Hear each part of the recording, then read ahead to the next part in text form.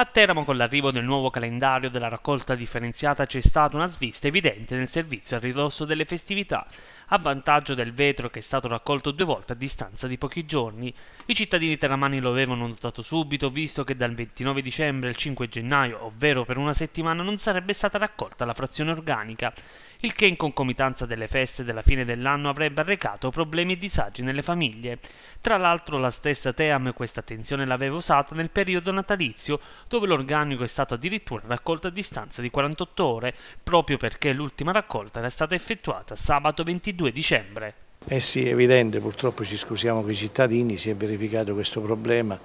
eh, tra il passaggio tra l'anno vecchio e l'anno nuovo si sono verificati dei problemi e quindi i cittadini hanno, stanno tenendo dentro casa insomma, un organico di diversi giorni, quindi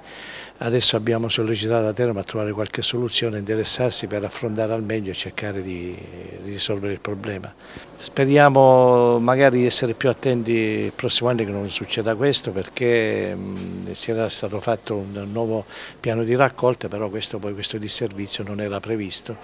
e quindi insomma, va evitato perché poi crea disagi ai cittadini, soprattutto persone anziane chi non ha troppo spazio in casa,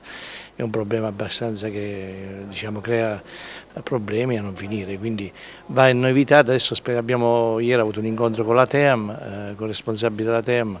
e abbiamo sollecitato magari di trovare qualche soluzione per sopperire a questa problematica. Una problematica su cui la Termoambiente ha annunciato che per agevolare i conferimenti di tutti i rifiuti urbani ed in particolare dei rifiuti organici prodotti durante il periodo festivo sarà prevista per le utenze domestiche un'apertura straordinaria del centro di raccolta situato in Contrada Carapollo a partire dalle ore 12 e le ore 18 fino al 12 gennaio compreso.